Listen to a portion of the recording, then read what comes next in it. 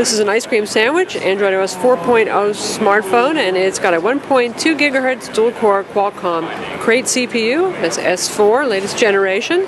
Capacitive buttons down here.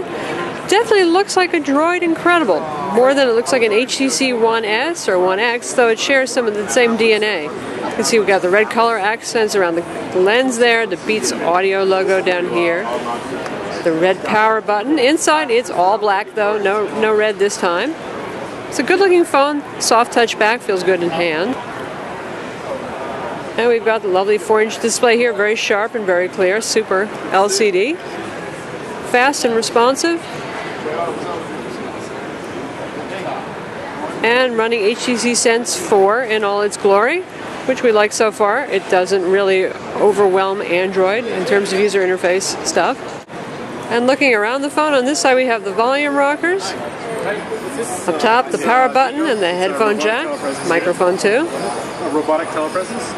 So the idea that bottom, that's a pry hole so you can take off the back and access the removable battery. And there we have our micro USB port. There is a micro SD card slot. It is under the battery, unfortunately, but at least it's there. And on the back we have an 8 megapixel shooter and on the front we have a video shot camera.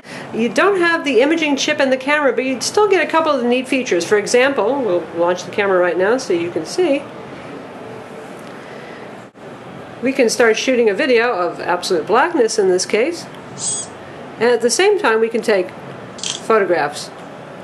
But you won't get things like 60 FIPS video recording here. Still pretty capable. So that's the HTC Droid Incredible 3 on Verizon Wireless, available soon.